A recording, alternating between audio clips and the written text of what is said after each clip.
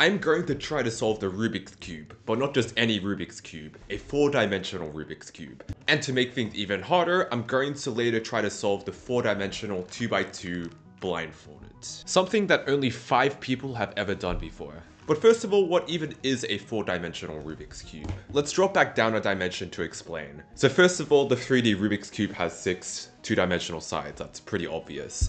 And if we were to express it in this projection, you can see five out of those 2D sides. And naturally, it's very easy to fixate on each of those 2D stickers, much like how people do the same on a normal Rubik's Cube, but if you really quite literally take it apart, you'll realize that it's made out of these 3D pieces. In order to solve, for example, the three colored red, yellow, and green corner piece, you'd have to put it between the red, green, and yellow centerpieces like this.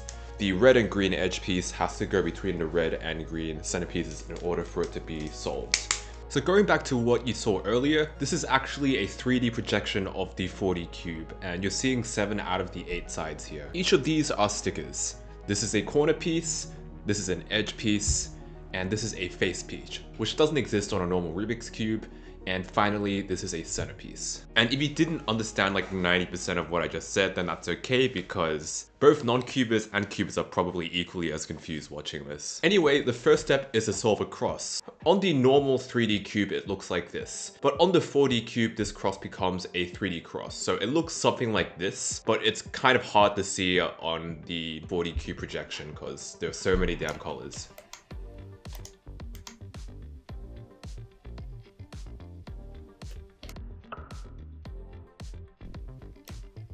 I don't even know what I just did. This is like painful. So what if I do this? Turn it in. Oh yeah, that's good. So one, two, three, four is done. No, I think it's one more. It's just this one. This is the pink. Dude, where's the last piece? Oh, it's here, okay.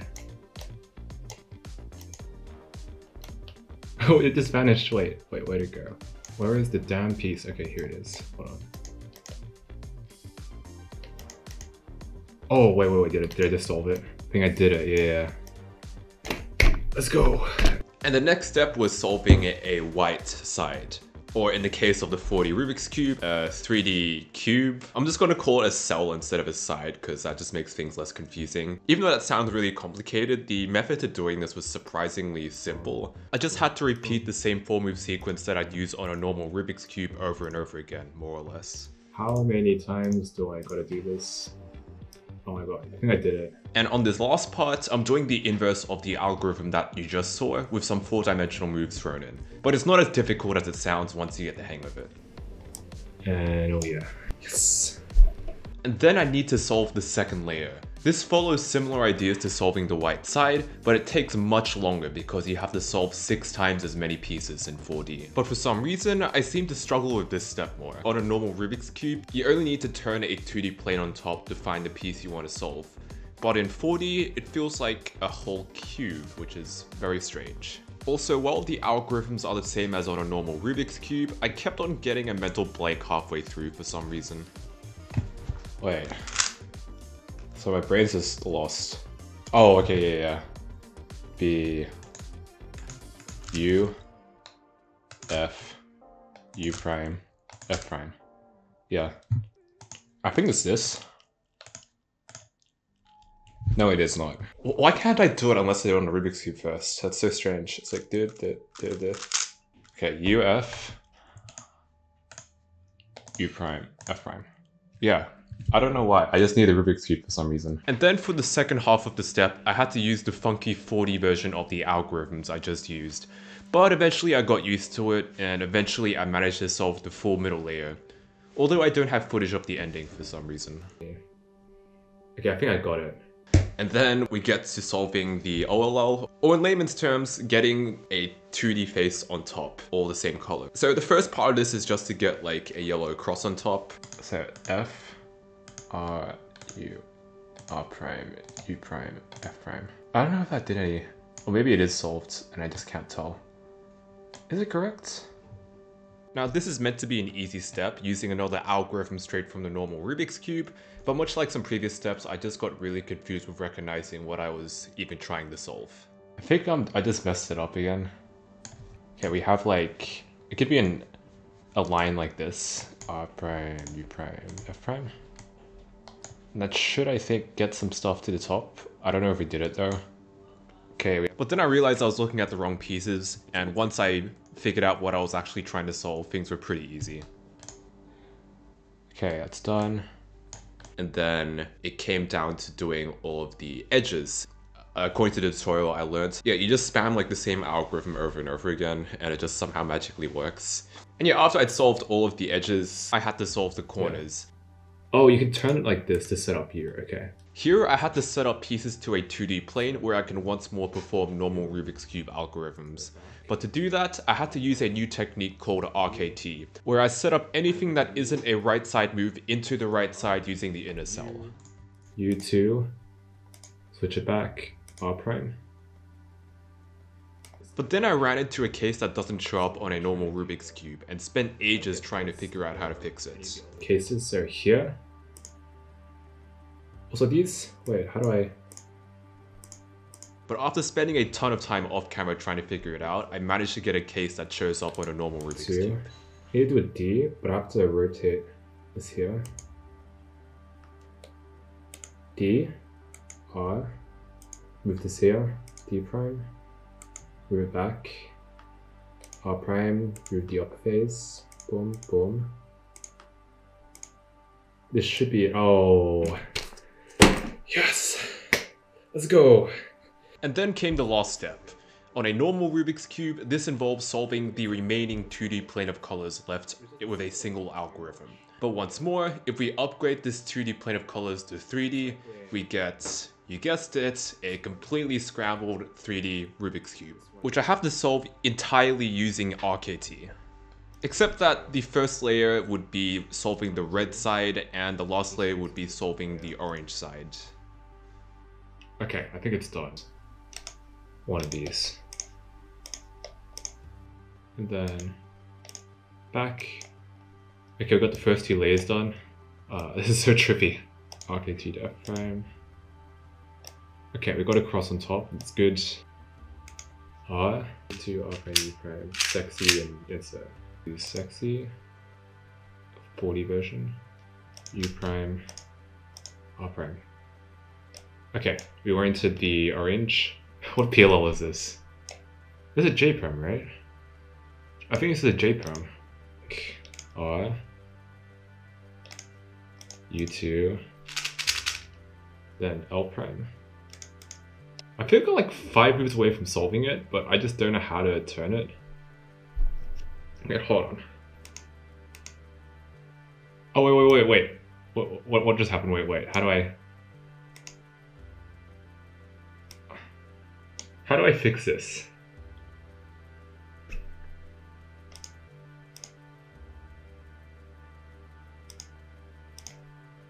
Let me just keep pressing random things there if something works. Please, oh my god, just solve itself. Okay, they're opposites. Oh, whoa. Oh. of course, yeah, I forgot I could do this move. I'm such a dumbass. That is such a dumb finish, my god. But now for the real challenge, solving the 2x2 Rubik's Cube in 4 dimensions blindfolded. Now at first I thought it'd be easy because the beginner's method for solving the 3D version is surprisingly simple. Step 1 is to memorize all of the pieces using a string of around 8 letters, one for each piece. And step 2 is to solve one piece at a time by using the same one algorithm over and over again with some setup moves. The only issue though is that the algorithm is pretty long, and in 4 dimensions I have to use RKT, meaning that it's even longer. Which is fine because it doesn't matter how long it takes for me to solve the puzzle as long as I succeed. Except that the algorithm just doesn't work in 4 dimensions because there's this weird layer misalignment. So I decided to play around with some other more advanced methods which seemed to work better. But then I came across a much bigger problem. Uh... Wait, this is Wait. Hold on. Wait. Doesn't make sense. Why is it... I'm so confused. What the hell is going on? That's not meant to happen. Now, if you don't understand why I'm low-key freaking out, let me explain. So a fundamental rule of blindfolded solving is that if you solve one sticker of a piece, all of the other stickers will solve themselves. The problem is that in 4 dimensions, even if you solve one sticker, the other 3 stickers can still be placed incorrectly in 3 different ways. It's like as if you can solve the piece correctly in one dimension, but it's still twisted wrongly in another. So I did what's called a pro gamer move and completely gave up, making a bunch of dumb low effort YouTube videos instead, trying to solve a Megaminx blindfolded but giving up in 2 hours and kind of just vanished for an entire month. But then during my procrastination spree, I thought of an idea. So I'd never seen anything between only one and all four stickers being solved on a 4D cube. So I thought, what if I could just focus on solving two stickers of each piece instead of just one to guarantee that the rest are solved. This seemed to add up, but even after rigorously studying a video of a guy completing the puzzle with this knowledge in mind, I was still really confused. Once again, I understand the theory, but my 3D brain was struggling to keep up. But then something in my head seemed to click. All blindfolded solving methods more or less follow the same idea. Do a setup, do an algorithm, undo the setup. But what I missed before was that on the 4D cube, I need to split it up into 4D setups and 3D setups. And the goal of the 4D setup is to move the first sticker to wherever the 3D Rubik's Cube stickers should be, as well as the second sticker to the inner cell, which feels like the inner parts of the pieces of a Rubik's Cube. Now this is really weird and mind-bending at first, but once I could get the hang of it, the rest was just using 3D techniques and RKT. Although there was yet another issue I had. The people who had succeeded on YouTube used 3Style, the most advanced method of solving the Rubik's Cube blindfolded. Now this makes sense at first because unlike other methods, it solves two pieces at a time instead of just one. But using it in 4D is much harder and uses a lot more brain power. But an idea from something unexpected came in clutch to fix this. While I was unsuccessfully trying to solve a Megaminx blindfolded, I learned that the recommended method to use was a simplified version of 3Style called Orozco. While it solves just one piece at a time instead of two, meaning that I have to do way more moves, it makes setting up pieces and figuring out algorithms much quicker, and the reduced mental effort to figure things out more than made up for the huge amount of moves I had to do. I also got inspiration from the same Megaminx tutorial to invent my own way of memorizing each piece. By memorizing the first sticker like how I do it on a normal 3D Rubik's Cube, and the second one by the color of the sticker with a few extra rules because purple and pink don't exist in 3D Rubik's Cubes. And that meant I knew how to do both step 1, memorize the cube, and step 2, solve the cube, which meant that I was ready to start practicing sided attempts. What I do is perform a setup and an algorithm, then check afterwards to see if I solved the piece correctly or not. This would help me fix up mistakes that I'd otherwise make during full blindfolded solves. And while I did have some other issues that came up as well and revelations to improve my accuracy and speed, the main issue was that I was randomly screwing up a few times in each attempt by just randomly turning a layer the wrong way for some reason. But eventually, I started trying full attempts anyway because even though my accuracy was low, all I needed was one success. Also, I'm graying out the cube instead of using an actual blindfold, but it's basically the same thing. Anyhow, the first few attempts all ended up being total failures. This continued and just didn't seem to be getting better. I also gave up a lot of attempts earlier because I messed up my memorization and couldn't be bothered fixing it. But that was until this attempt. Oh, oh no. Oh. Oh, that is so painful. oh, oh no. Pee. I don't remember memorizing that at all. Are you kidding me? Everything was solved except just one piece. Which is impossible on 3D Rubik's Cubes, but not in 4D, which means there's actually a step 3 fix the lost piece. Now I knew this could happen in advance, so I'd memorized the orientation of the piece every time I moved it. But the one time I slip up in doing this properly, I somehow get everything else perfect. But instead of getting depressed over it, I used it as a chance to pivot my approach. Firstly, I'd go very slowly with every attempt and play it super safe. The opposite of what I did before. Secondly, I made sure to meticulously track the orientation of the lost piece so I don't end up suffering again. And thirdly, I do whatever it takes to succeed. That's it. Oh, thank God. Yes. And finally, I did it. Oh Now, if you want to try this out by yourself, I'll leave links to everything I use in the description below, oh, but otherwise, see ya. I feel like way more relieved than excited at this point. I'm tired. I need to. I'm gonna rest after this. Maybe I'll lift. I need a lift actually.